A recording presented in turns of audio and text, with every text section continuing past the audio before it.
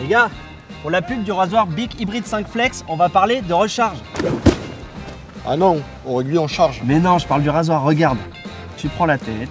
Comment ça, on te prend la tête? Mais non, pas la mienne, celle du rasoir.